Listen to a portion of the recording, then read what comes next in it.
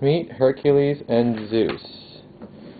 Both seven-year-old males, neutered, came in from a kill shelter. Hercules has pigmentary keratitis.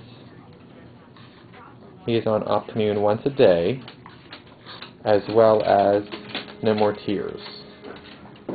Zeus, oh, we have on him as his owner supposedly fell on him and hurt his back, as you can see how he walks just a little staggered as if he had a little too much to drink.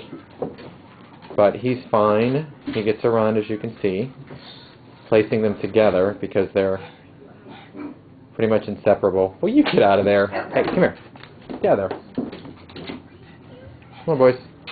Hey, they are both food aggressive. Hercules more so than Zeus.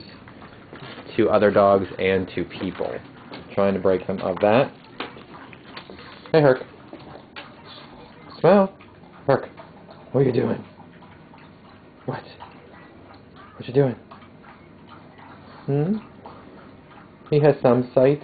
He sees a lot of shadows, so occasionally he walks into things. What? What?